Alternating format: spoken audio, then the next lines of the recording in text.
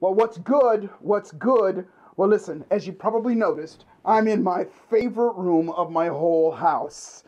And the reason I'm here is because what better place to talk about the last of the five keys, the five pillars to being magnificent and having a magnificent life. And as you probably noticed, and by the way, grab a pad and paper because you know how we roll up in here. I'm not going to just talk to you about stuff, I'm going to give you something to do. And this is the one, this last one here is the one that ties it all together. This is the one that literally doesn't just make you feel good in the moment, but this is the one, this is the pillar that all of them are important, but this is probably the most important one with regard to creating what I call geometric growth and making this a loop that one feeds the other, and you just grow and grow and go further, faster in your life. Now, as you probably notice, I'm surrounded. My, you can't see the other side, but there's another six of them on the other side, but all these beauties around me. Uh, and, and, obviously, you might think, well, this is my favorite room because of all these beauties. But I set it up here this way. And you may not be, you know, into to basses and guitars and things like that that I am, but you're into something that is going to help you, let's say, accentuate or elevate this last pillar, and that last pillar is joy. That's right, joy. Now, let me preframe this by saying if you're an achiever or overachiever or super entrepreneur and somebody that's very aggressive and you're looking for something, you might think to yourself, well, this is, you know, this is too soft and this is too, uh, you know, rainbows and butterflies and things like that. Chill. Because I'm here to tell you, I'm going to give you an example here in a moment, that achievers that do not aggressively go after this particular pillar live in much more stress. And if you live in much more stress, you're going to operate differently. Excuse me, you're going to operate less than is, let's just say, optimum to get your outcome. Said differently, you're going to get to where you want faster by having more joy in your life. And so, as I said before, grab a pad and paper because I'm not going to just talk, I'm going to give you something to do.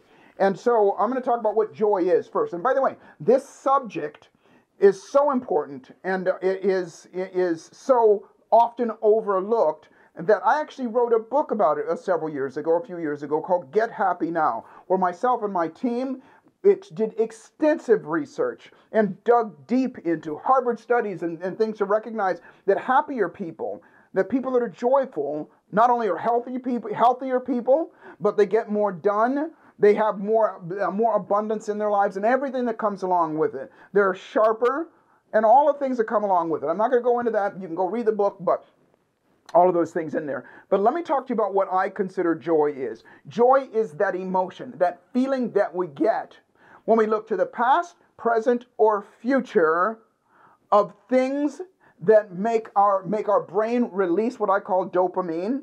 And we look to the past, present, and future of things that we were successful with, things that we're happy about, things that we approve, and things that we love. It's the emotion that is produced when we seek out those things, when we look for those things, consciously and unconsciously.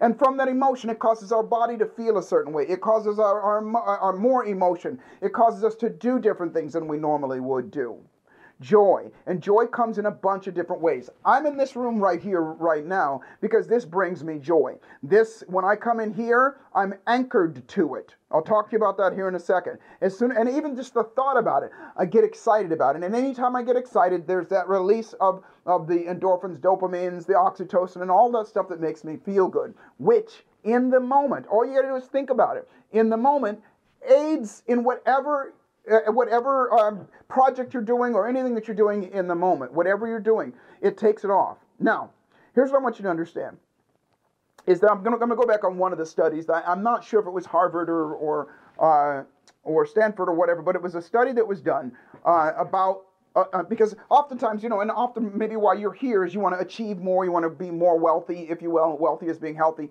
happy, and financially abundant. And and so uh, you know, maybe you're at that stage in your life where you're working really hard to make some things happen and everything. But here's what I've, I have uh, witnessed and what I've noticed and I've experienced across the board. And by the way, I did it myself.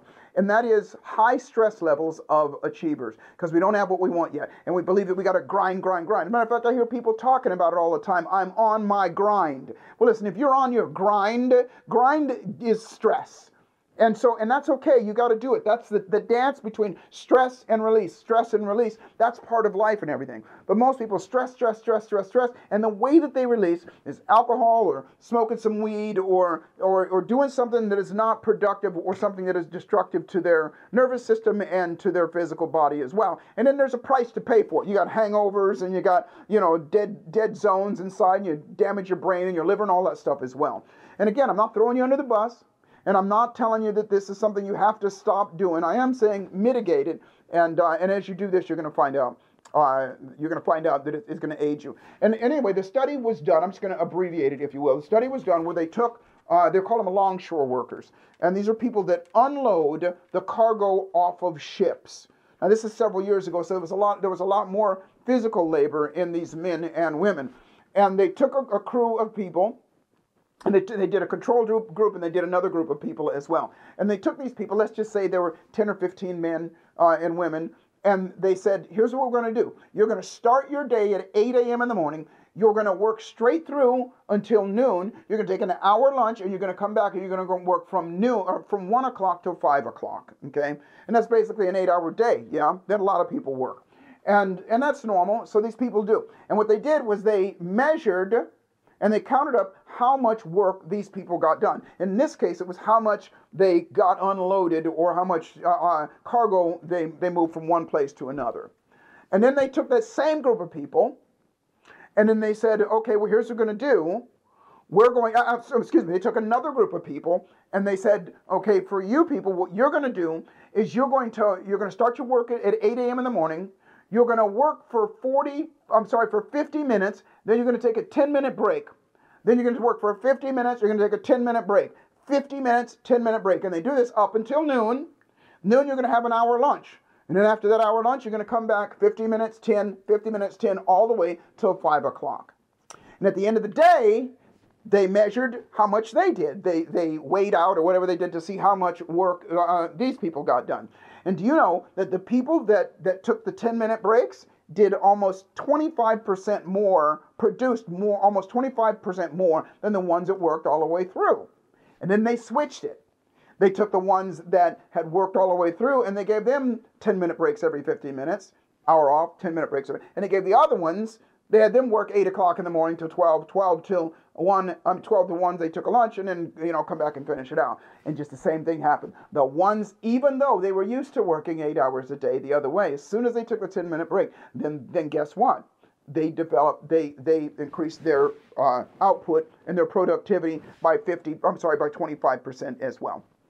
Now i'm sorry it was 20 to 25% now the obvious question is, well, what the hell did they, you know, that you're, you're thinking to yourself, okay, well, that 10 minutes off, you know, that's great. But the question is, what did they do during those 10 minutes? Aha, uh-huh. that is the, the, the important thing for you to know. What they had those people do, actually had them do a myriad of things. They had them meditate, things and so on and so forth. But one of the things that they had them do was just to go through a couple of rituals of these two things gratefulness and joy. And what they did was they had them just think about, and they played some music, just think about the things that brought them joy their families, playing bass guitar, or whatever it was. And they played the music, and they just had them for 10 minutes do that. You know, drink some water and just relax for 10 minutes. And what happens, if you go back to pillar number three, is it gives them energy. It gives them, it, it, it, replenishes them. It gives them electricity. And that electricity moves into, uh, it gets them to, to do more. They feel more like doing things. They have more joy. But here's the great part about it. They did this for several, several months. And then when they put both of the groups back on eight hours a day, in the very beginning, they were, they were productive, but it fell off. It fell off. And these people, but the people in general started to be, they were happier, healthier people across the board. Now, why do I share that with you? It's because it's important that you practice. If you, you know, it doesn't have to be that regimented, but at least once in your day, you take some time where you wait for it, go somewhere to be joyful. Let me repeat myself. You go somewhere to be joyful. It may be your car, it may be a music studio, it may be, you know, wherever it is for you that you go somewhere else to be joyful. Now, I have people, and you may be this, you know, you're listening to this and you go, Well, Joseph, I got a job all day long. That's great. Okay? But you know, take some time to go find a little place. And I say, and the reason I brought you in here, the reason I'm doing this, is to create a sanctuary, create a place that you have that you can go where it's just you, and you're going to do the following what I tell you what to do. And this is really, really important that you get this. Let me, before I tell you uh, uh, how to create it, let me tell you why this is important and why it works so well. And that is this: uh, in all of the, the all of the uh, pillars that I've been talking about, uh, reward and praise and all of those things are the things that cause our brain to go, hey, let's do more of it. And the way that that works is as soon as you feel something good at all, your brain releases chemicals, dopamine, endorphins, and, and things like that to make you feel good. But here's the beauty of it. As soon as that happens, the brain automatically goes, it looks for what just happened right before that release of, uh, uh of, the, of the hormone. And it attaches that feeling to whatever happened right before. And so the brain goes, because remember, we're always looking for joy. We're always looking to be better. We're always mo- moving from, from pain to pleasure. We're always moving from stress to release. That's the way we are. We're looking uh, to, to feel better all the time. Every, that's part of who we are. That's what makes us human beings. And so the brain goes, okay, an easiest path is, wow, that just made us feel good. Let's do it again. Let's do it again. Let's do it again. And when you reward yourself and when you have joy, guess what? It attaches it to any and everything around. It doesn't judge, it just goes, this is it, this is great. And this is why you can understand why some people attach joy to things that are destructive to them as well. Because if they get any kind of release from it at all, you know, smoking cigarettes or, or weed or drinking drinking alcohol and stuff. And again, I'm not throwing you under the bus. I'm just saying, and I'm not throwing shade on you. I'm just saying that if it's if there's anything at all that's destructive to you and you know it, and you continue to do it, is because you have attached some meaning to it that makes you feel better, makes you bring feel some kind of joy, and your brain automatically goes, let's just do more of that. That's the quickest way there. So instead, there's shortcuts, there's hacks, there's things around it to do it. And so um, you know, I always I always tell people, listen, my methodology is a bit unorthodox. If you get a fear of dogs and you come into my office, there's going to be a dog in there. And at the end of that session, you're going to hold the dog, you're going to love the dog and everything. And I'm going to get there very, very quickly using the processes and the things that I'm talking to you about right now. But the biggest piece of it is it's not just, you know, when they finally hold the dog, they go, okay, finally. At the end of that, there's so much joy that we attach to them. And there's a way that you can capture joy it's called, the, it's called anchoring and triggering. You're going to learn it here in a moment. You can capture joy and, and access it any time that you want. And so when that person comes into my office and, and he, he or she doesn't know that there's a dog in there and they get a fear of dogs, what I have done before they come into my office, sometimes I do it on the phone, sometimes I do it in person, is I capture joy for them. And it's really, really simple. I want you to get this. If you've had any psychology classes, probably one of the things that you learned very early on was something called uh, conditioned response and that was Pavlov's dog. Ivan Pavlov took a dog, showed him food, uh, tied the dog up. The dog was hungry. Uh, showed him the food, and when the dog saw the food, the dog would drool, and Pavlov would ring a bell.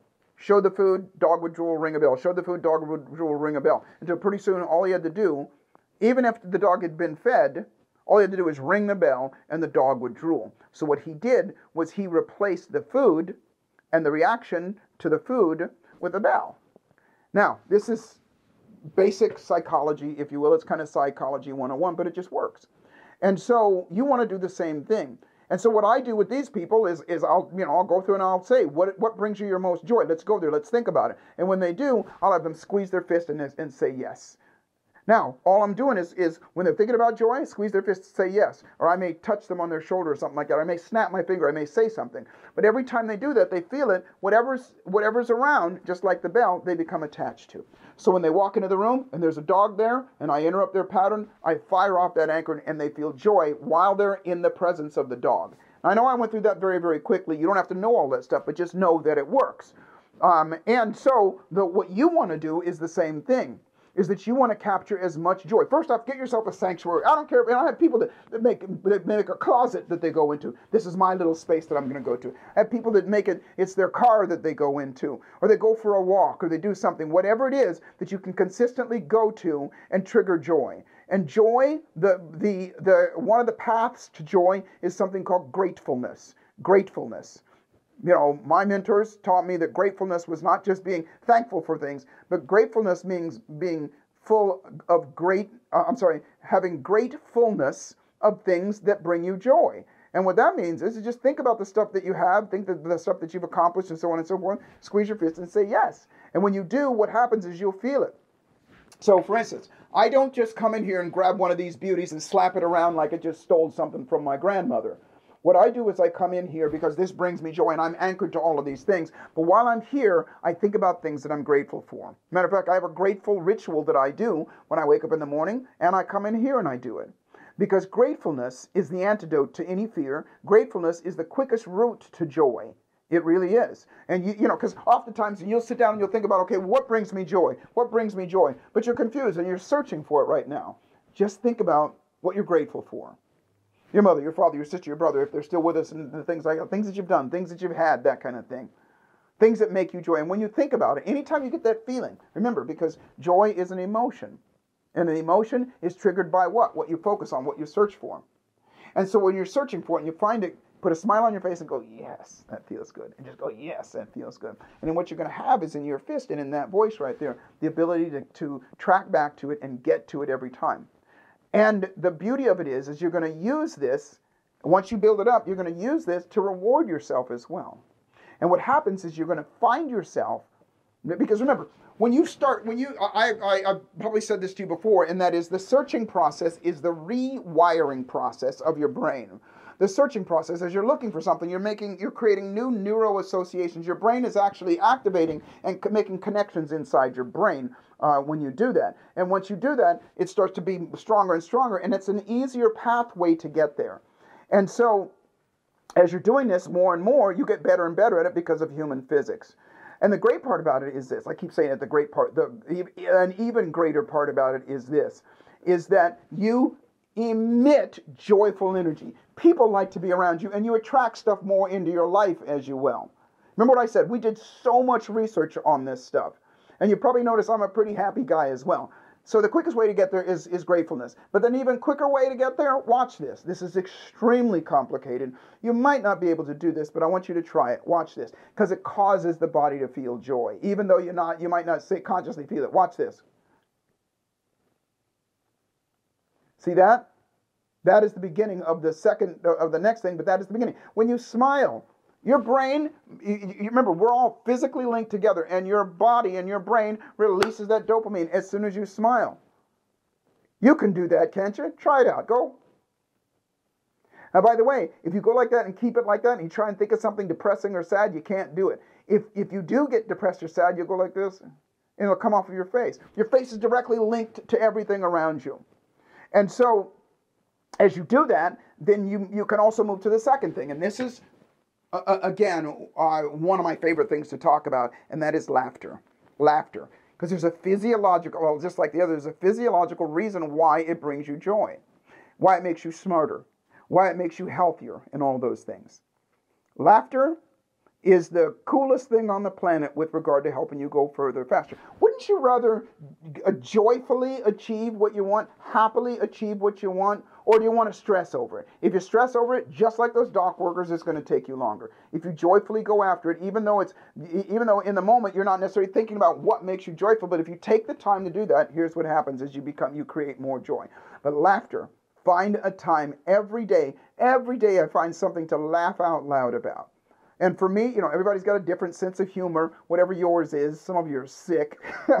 uh, and you find something to make you laugh because when we laugh, just the basic physics are that you remember there, there's that saying laughter is the best medicine years ago i read a book by a dr norman cousins and dr norman cousins uh, was one of the first people and this is back in the 80s uh, that uh, helped heal himself and other people of chronic and even life-threatening diseases and even terminal diseases through laughter and I remember reading this book, and he kind of outlined it. But as I started, as I studied uh, a, a little bit more, I started to realize why it is. Because in order for you to laugh, you have to breathe. You have to breathe diaphragmically. You, you have to breathe correctly, if you will. And as soon as you do, number one, when you're laughing, you get the dopamine release and all the things that I just said before. You're triggering your brain to look for what just happened and do more of it. But the other thing is, is you get the most important thing that's in your life with regard to you staying alive and thriving, and that is oxygen. Oxygen.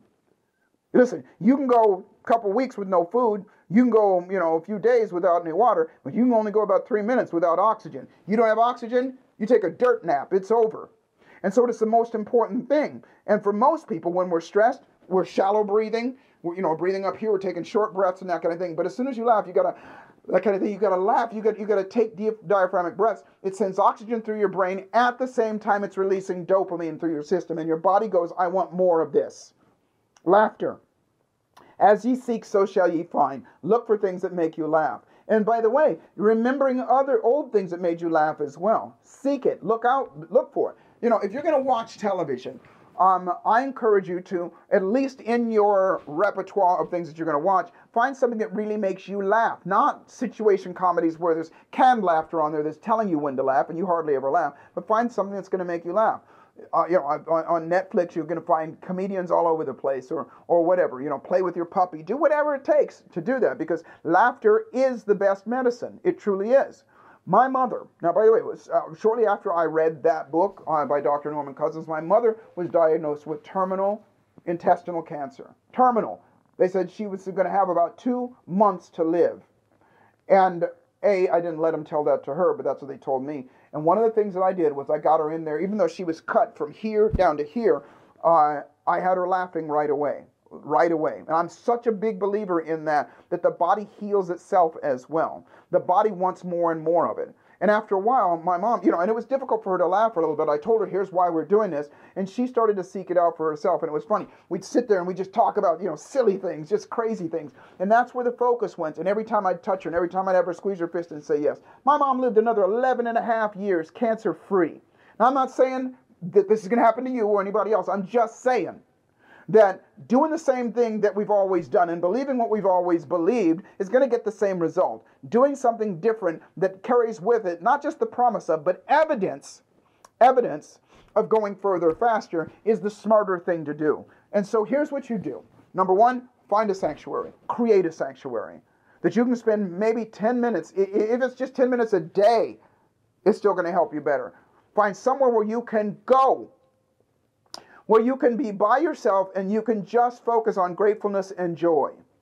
Number two, write it down. You know how I roll. What you write is what you invite. What you write is what you invite. What you don't is what you won't. Write it down. Any and everything that you can think of that makes you happy. Places that you've been, people that you've met, events that you've had, you know, trips that you've taken, whatever. Joy, joy, joy, joy, joy. And then write down things that you're grateful about. Every single day. Take five or ten minutes and just write it down. Go to that place and sit down and just do it. Use your brain. Remember, we are in training here, magnificence training. And so as you do that, what happens is you start to grow. And the reason why this is in this position of the five, and remember, I didn't go over the five. Number one is integrity. That means doing what you say you're going to do. Number two is tenacity. That means continue to do what you say you're going to do. Number three is energy. That means generate the electricity that's going inside. Number four is is kindness. Be kind to other people and kind to yourself. And then number five, joy. Reward yourself for having done all of those other things. And you're more apt to, and you're more likely to do those things without having to force yourself to do it. And you're going to become healthier. You're going to become happier. You're going to become more abundant, whatever that work that means for you and you're going to start to realize that you're a different person. And here's one of the other great things about it, and that is that other people want to be around you and other people enjoy you as well. And people say to you, say to themselves, and say to other people, I don't know what it is about that freak, but they're always happy and I enjoy being around him. You know, I've got several friends. One of my dear friends, his name is Eddie Valenzuela. And Eddie, as, far, as long as I've known him, and he's had some amazing hardships in his life, but he's always got a smile on his face. He's always got a smile on his face. And I remember asking Eddie, I go, Eddie, what makes you so happy? And he goes, because a long time ago you told me to be happy. And I go, I told you? And he goes, yeah. And he said, and by the way, he's, you know, it wasn't just me, but he practices that. He looks for what's joyful. He laughs all the time. Seek it and you find it. If you're the kind of person that's too cool to rule, that says, that kind of thing, get over it. You want to be happy. Listen, in the end, in the end, magnificence, magnificence is being happy. Magnificent people are happy people. You don't want to look at somebody, you don't want to look, you don't look at somebody that is sad and stressful and so on and so forth and say they have a magnificent life. On the contrary, you look at somebody and and and that doesn't mean your problems are going to go away. You know, one of the most joyful and funny and and and happy people that I know of of uh, I've never met either one of these two people. Kevin Hart, the comedian, and um, uh, what's his name with the, with the mask? Uh, Jim Carrey. Jim Carrey. And when you think about these people, you know, they're comedians, obviously, but there's other comedians that are out there that are sarcastic. I, I there was a guy, uh, oh gosh, Jesse, I think it was his name. I forget what his name was. But there are several comedians that are depressed and on drugs and so on and so forth that are sad and, and sarcastic and things like that, and are not optimistic. Optimistic, optimistic means looking for options and finding options. But if you look at these two gentlemen and you go back and you look at their history, because they talk about it now, and they talk about yeah the things that they've done, you know, all in it. They're, they're all you know charities and things like that. They help people. They have all five of those things. And so all of these all of them the, these five pillars are important and this is the one that you need to practice for the rest of your life really the rest of your life i just bought this house that i'm in right now one of the first places that i, I put together was this room. Why? That's how important it is. That's how important it is. So what i encourage you to do is do the exercises. Make a sanctuary make your list of stuff and visit it every once in a while along with the other exercises that you have. And then lastly i got a free gift for you and that is the gift that all of these all of these uh, principles are outlined in with other exercises and things that you're going to do let me say this before i tell you what to do. You, can go to the link and get the book. Uh, and the book is free by the way. Um, all of this is designed that we're in training right now. We are in training. My mentors always taught me that if you want an extraordinary life if you want a magnificent life training never stops Athletes constantly train. You know, and there's such a great example. And it's the same for us. We got to keep training ourselves. And our, our time oftentimes is eaten up and, and, and uh, distracted by you know so many other things and television and, and social media and all those other things and, and necessary things like you know got to take the kids to soccer practice and all those things take the time for yourself and do this take the time to do this. So, a free book. It's called uh, Dare to Be Magnificent. Ironically, uh, get the book. Just follow the link. Get down there. Get the book. We'll send it to you. It's absolutely free. I want you to have this. I want you to have it. You know, my life changed because somebody gave me a book, and I promised that person that I would do the same thing.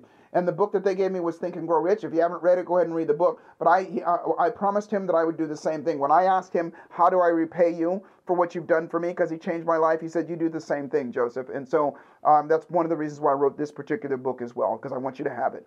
And, um, and not hopefully, but as you do it, it will, it will uh, change your life as well. The only thing I ask is that you do it and you share the information. Now, I'm not saying that you got to share the information and show I got this from Joseph McClendon. You got to go to this. No, share it. You, you can make it. You can make it. You can say it as though you made it up if you want. I don't care. Let's just make a difference in other people's lives. Lastly, like and subscribe and hit the notification button because uh, if you enjoyed this video, I got plenty more for you as well. And then lastly, lastly, remember this: life is exactly what you dare to make it, and fortune favors the bold. So I'm going to boldly step up here and slap these things around. I love you, and I'll see you at the top.